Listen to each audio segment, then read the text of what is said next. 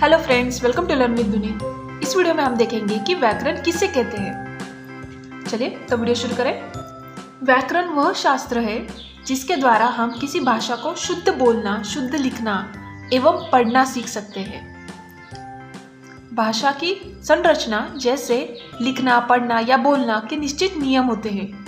भाषा के इन नियमों को जिस शास्त्र में अध्ययन किया जाता है, उस विद्या को हम व्याकरण कहते हैं। व्याकरण के अंग, ध्वनि विचार, पद विचार और वाक्य विचार। व्याकरण के प्रकार, वर्ण, शब्द और वाक्य। अगले वीडियो में हम देखेंगे व्याकरण के प्रकार, वर्ण, शब्द और वाक्य को विस्तार से। तो आपको ये वीडियो कैसे लगा, मुझे कमेंट करके ज़रूर बताइएगा। साथ ही, अगर आप मेरे चैनल पर नए हैं तो ऐसे ही और वीडियोस के लिए मेरे चैनल को ज़रूर सब्सक्राइब कीजिएगा।